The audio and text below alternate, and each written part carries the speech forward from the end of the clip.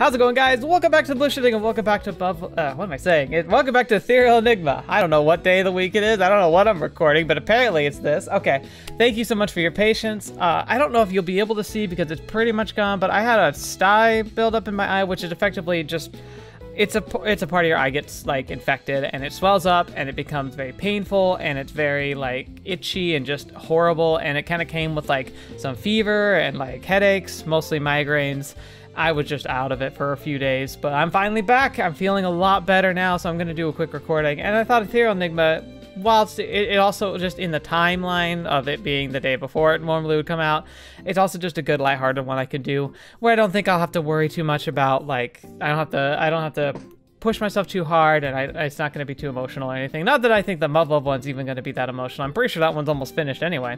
But yeah, we're also pretty much going to be done here. Knowing my luck, they're going to both wrap at the same time. So we'll have to see how that goes. But thank you guys so much for being here. Thank you for your patience if you've been waiting for a few weeks. I hope you are enjoying yourself. And we have a few new subscribers. Hopefully you're checking this out. I thank you for that. And if not, and you've been here for a while, thank you so much. I still appreciate you for every little second of it. But let's dive right into this. So we are here now to be like we're, we're we stayed the night at Kira's house, which is pretty cool if I'm gonna be honest. But you know, we we also have to realize that today's also the day we say goodbye. And so, yeah, I don't know what's gonna happen. I'm not sure what it's all about, but let's let's find out together. But yeah, waking up at Kira's house, which suspiciously looks like our Ace Academy house.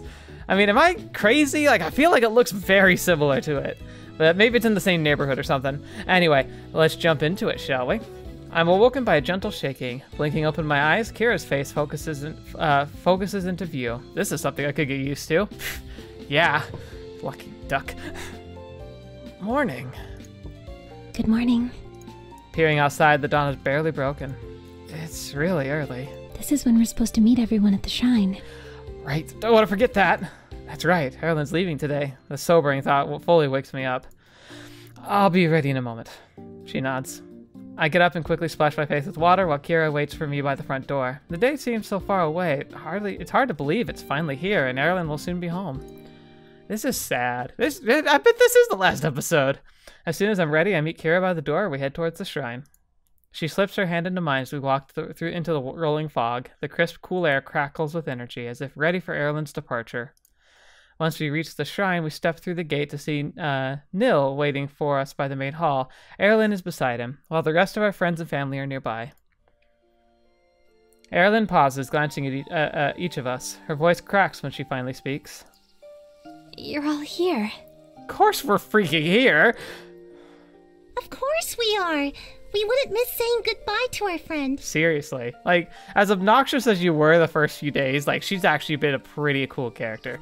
I do think I'm going to have to take a quick dive, like, over the weekend, uh, especially if this is the last episode, and I see what her, the differences between her story and the Kira story. Like, the, well, like, the romance paths. I'm really curious. Thank you, everyone. You don't know how much you each mean to me. Mina's eyes bubble with tears. She races towards Erilynn and throws her arms around her in a big hug. I'm going to miss you so much. Fetch, man. I'm getting kind of sad. Like, it. Uh... I'll miss you too. I wish you had more time here. There's so much I still want to ask you about being Veldin. Perhaps you'll have a chance to visit your heritage. Veldin welcomes you anytime. Yeah, I think as soon as you're out of school, uh, uh, Mina, you should definitely go. I want to go too. Maybe me and Kira could go. Mina smiles. I'd like that. Erilynn turns to Aunt Emiko. The same offer stands for you too, of course. Thank you, dear. Aunt Emiko grins as she pulls Erilynn into a hug. I'm so glad I had a chance to meet you. You tell Ida to take it easy on you, okay? Sometimes she overdoes it with her missions. I will. Thank you for taking such good care of me. You too, Uncle Hajime. He grins, pulling her into a brief side hug. We're going to miss having you around the house. Come visit whenever you like.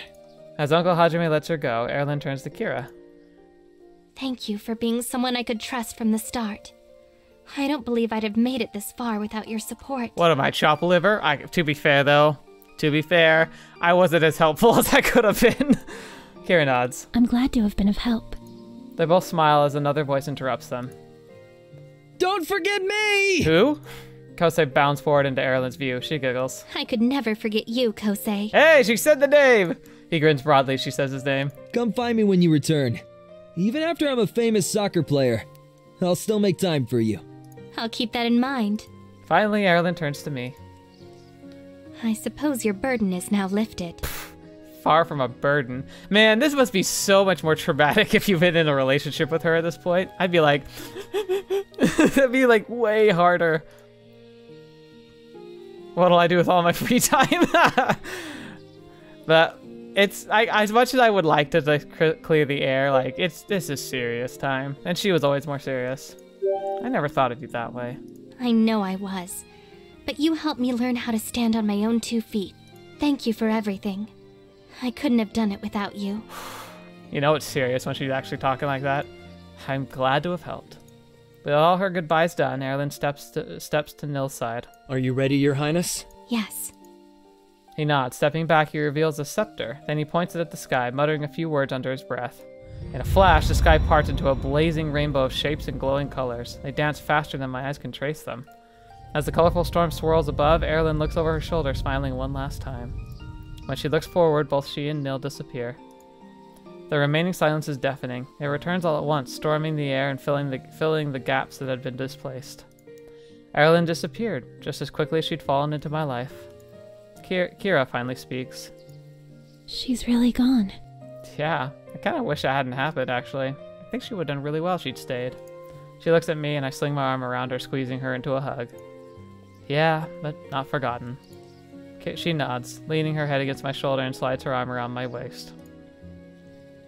Erilynn's going to come back. She promised. Yeah, so until then, we'll just have to wait for her together. Exactly. Together. I like the sound of that. I glance at Kira and she smiles. Me too. My gaze travels to the wishing box where it all began. Although it's only been a few months, feels like a lifetime ago that I was just an unsuspecting kid whose biggest worry was starting at high school. Now I've discovered a family secret, made an unexpected but lifelong friends, and even fallen in love. All because I returned a wallet. It may seem like our adventure has come to a close, but this is just the first chapter of many more to come. Is it really not going to have an epilogue? Is this episode only 10 minutes long? Oh, I'm going to be such a... Oh, no. I'm an idiot. I should have just thrown this on. Gosh darn it. well, there we go.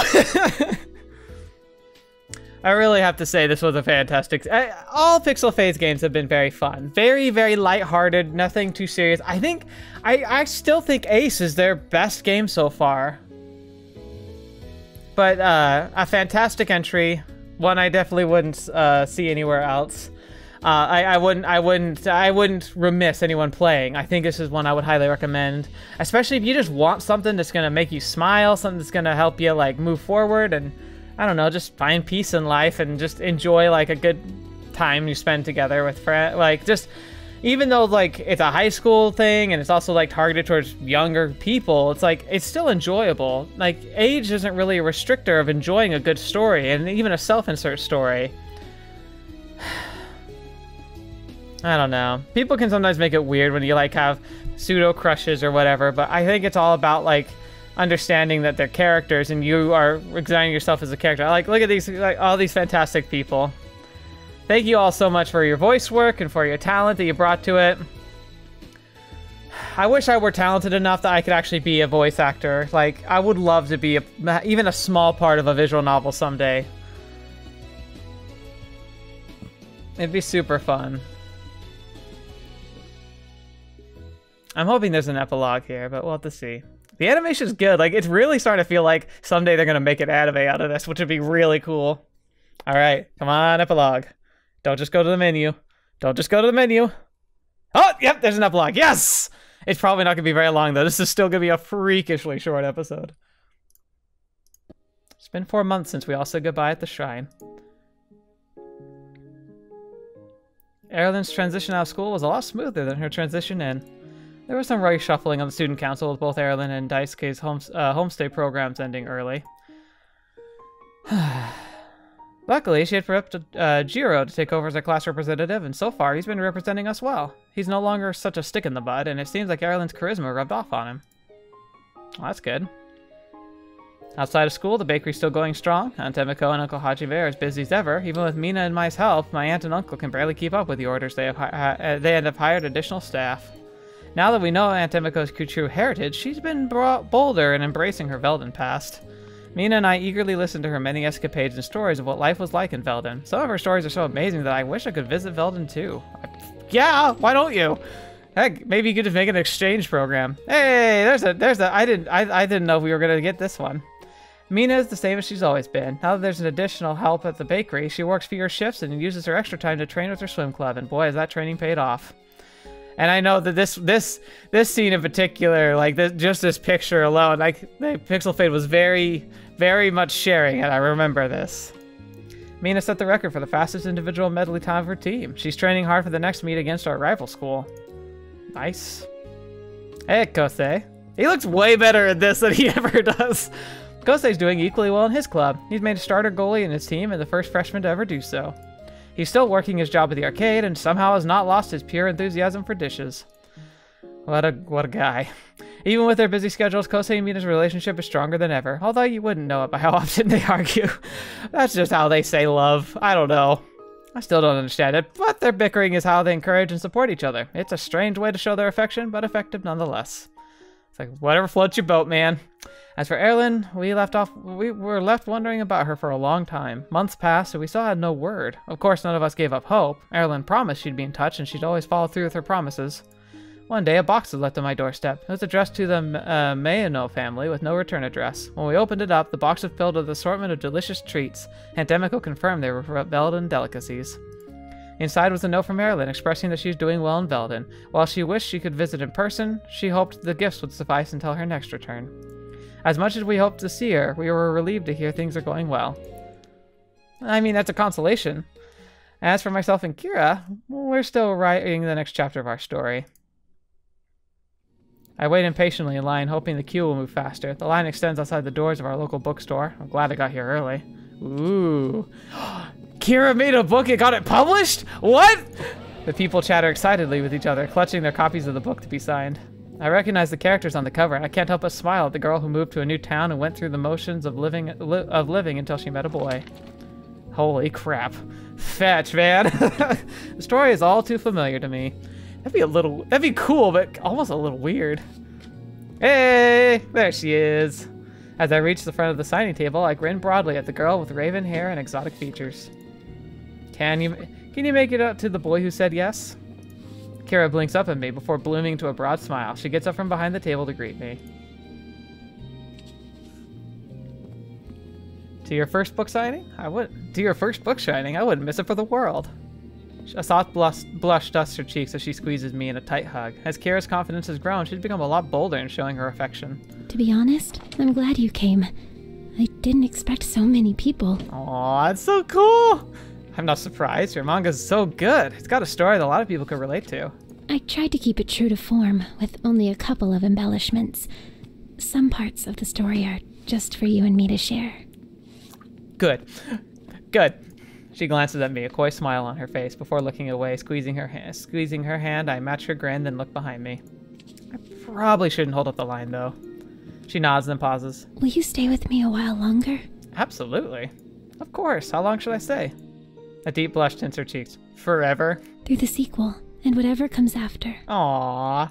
I grin, feeling a warmth spread through my chest. A never-ending story with you sounds just perfect. Kira smiles warmly as I scoop her into my arms. Everything feels just right. I'm excited for what plot comes next for us. Aww, that was sweet. Super sweet. Fin. Yep, there it is. Thank you for playing Ethereal Enigma. We hope you enjoyed it. I absolutely did. I've enjoyed everything that they put out. Have they been perfect? No. Would I say this is perfect? No. Is it great? Absolutely. I'd highly recommend it to anybody who just wants a nice, comfortable romp and happiness. Uh oh. Yeah, so I don't know what this is all about. Well, let's see. Let's see the propaganda, huh? Thank you, Pixel Fade. I, I do want more, but thank you. Glad to hear it. Please look forward to a new adventure in the future. Farewell. They have already like revealed they have a new one. They're they're they're starting right now. I'm guessing it'll be starting to come out probably next year. But again, they're probably going to release it by chapters, which is what Ethereal Enigma did. So if you want to keep an eye out for it, they follow them on their Steam uh, pages, of course, but their Discord's actually the most active place to go. It's actually pretty fun. They like to drop little teasers there. They often will like just meme it up. It's pretty fun. Uh, so yeah, like I, would highly recommend there. Like the the Discord should be in the description, and if it's not for some reason, you should be able to find it easily through their Steam page, which I know is in the description of the of the video. But yeah, so whilst this is a very short episode. stupid me. I should have just continued last time. It would have been a little long, but that's fine. I think I was I think I was tired, if I'm honest, last time.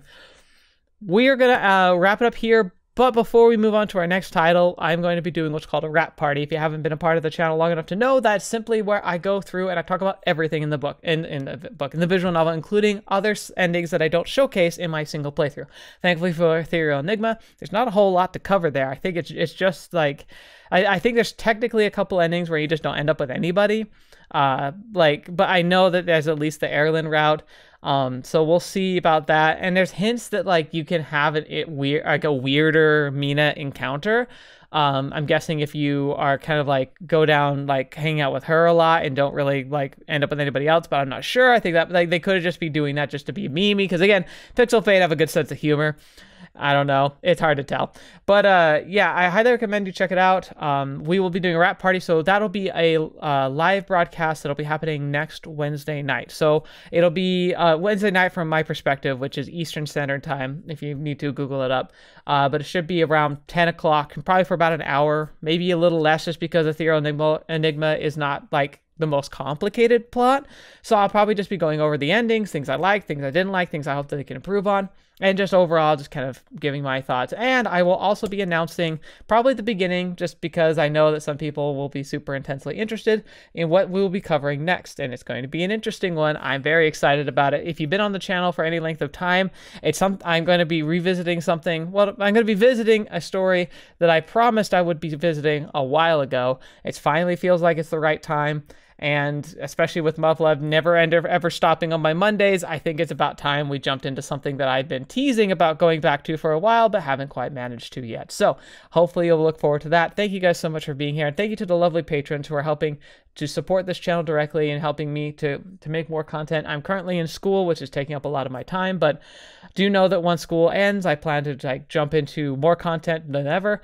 And frankly, a part of me really wishes now I could just focus on making content. Like I'm I suck at school, so we'll see. Part of me is wondering if I should just go full bore into this and like dedicate like 8 hours a day to it. Like this and maybe other kinds of content see what I could do, see if I could make something more of it than just simply like a passion of mine, a passion hobby of mine. And the fact that some of you are there directly supporting me makes me feel like that it's actually like an achievable dream, that is something that I can do. That if I work hard and produce good content, that I can push myself and become better and make something greater we'll have to see. Also, I guess like while I'm rambling about stuff into such a short video, and I gotta, I don't know, like stretch it out. But hopefully, if you're sticking around till this, like, please listen to this real quickly. Um, next month I will be going to New York, uh, New York uh, Anime Con. It's gonna be, it's gonna be happening.